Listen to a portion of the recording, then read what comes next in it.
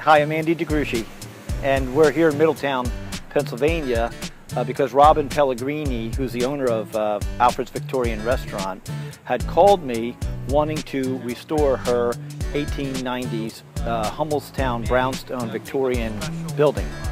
Uh, she is a, a, preservationist herself and uh, grassroots effort just decided to, like my own business, pull ourselves up from the bootstraps and started uh, from uh, just working hard. She uh, has developed this business with her husband, her late husband, and uh, she uh, has decided to infuse uh, energy into the community by showing that preservation matters.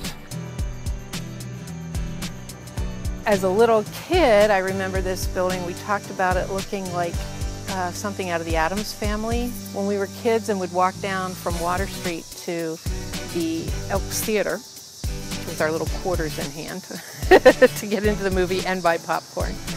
Um, we would dare each other to walk on the wall out front because we were convinced it was haunted. And, and it just looked scary because there were never any lights on. I came back about a year ago to take over. My husband passed away two years ago and the people that were running it were his children and they really just didn't want to be here anymore. You know, it was their father's dream, not his.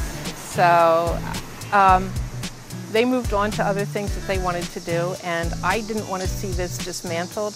They had tried to find a buyer, and I was heartbroken to think that this thing would be stripped down for salvage, and you would drive by and see a blight with you know, boarded up windows and, and who's going to take it. It would have been a knockdown because nobody was ever going to try to restore it again if that happened.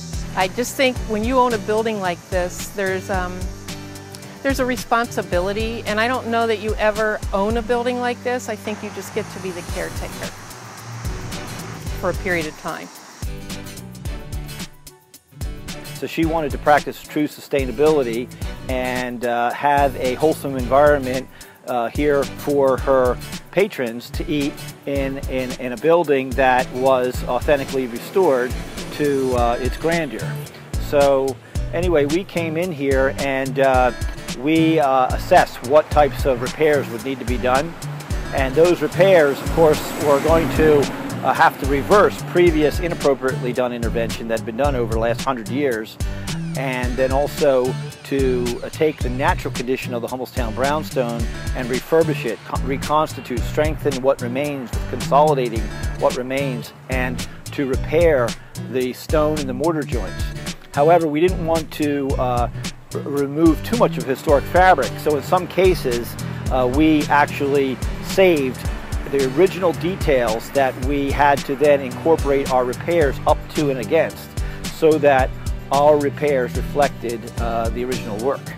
So when we came on board, we began to educate Robin and explain to her that the types of uh, materials that were used originally, the lime mortars, they were breathable and they were not uh, consisting of modern uh, cement binders that would not only not breathe but could cause accelerated decay to the soft and uh, uh, pervious brownstone and so we explained to her that, um, you know, you need to repair in kind and like to like so that you can get a 100 year service life like the original materials uh, offered. So we educated her and explained this and then uh, she, understanding uh, what our approach was, trusted our judgment and allowed us to use the specially imported materials that we uh, work with. It was really the right material to use, but it happens that lime mortars are environmentally friendly, having such a lower embodied energy requirement to produce it over Portland cements.